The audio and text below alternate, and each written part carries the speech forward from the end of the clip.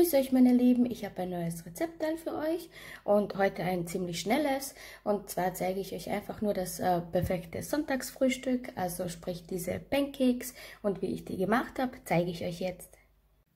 Wir brauchen einmal vier Eigelbe, 30 Gramm geschmolzene Butter, ein Teelöffel Vanillezucker oder Vanillearoma, und da rühren wir jetzt dann 200 Milliliter Milch einfach dazu.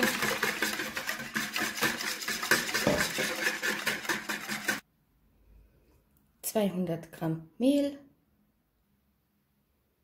10 Gramm Backpulver und das rühren wir jetzt einfach gut äh, durch, bitte aber nur so lange, bis sich alles gut miteinander verbindet und wir keine Klümpchen haben. Also wir wollen, jetzt, äh, wollen es nicht überrühren. So sollte das dann derweil aussehen. Dann habe ich hier einmal äh, vier Eiweiße.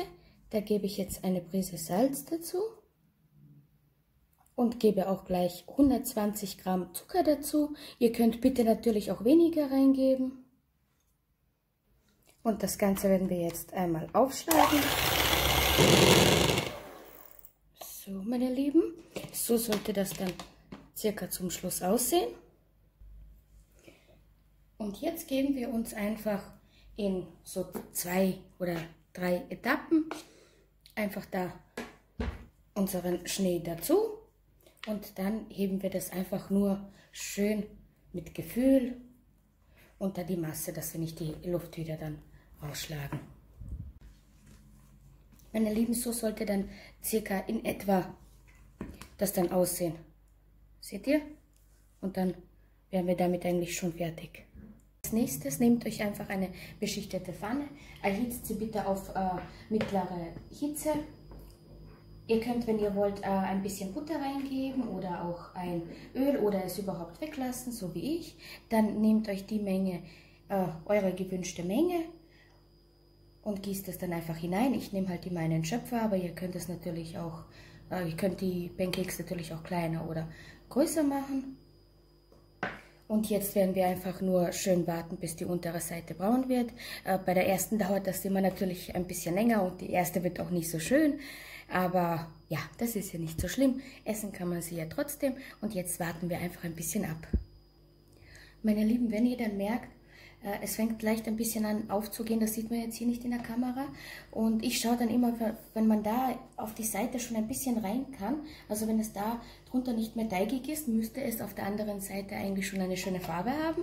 Mal schauen, ob das, was ich sage, auch, auch stimmt.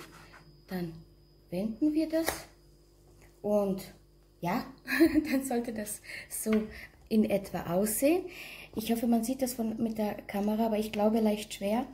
Ähm, wenn ihr das dann zu Hause macht, werdet ihr sehen, wie schön die aufgehen.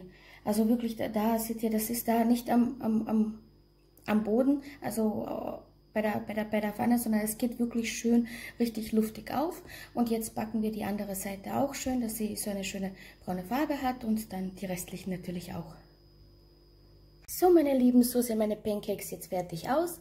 Ich habe noch etwas Butter und Honig raufgegeben und ein paar Beeren. Ähm, ihr esst das bitte natürlich so, wie ihr das gern habt und womit ihr das halt gern habt. Ähm, ich will euch jetzt nur noch ein, äh, eines aufgebrochen zeigen. Seht ihr?